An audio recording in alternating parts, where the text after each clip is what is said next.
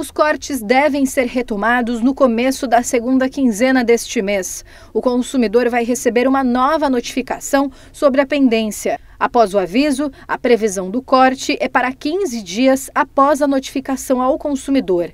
Só neste primeiro semestre de 2020, a Celesc registrou um aumento de 33% na inadimplência do consumo de energia elétrica.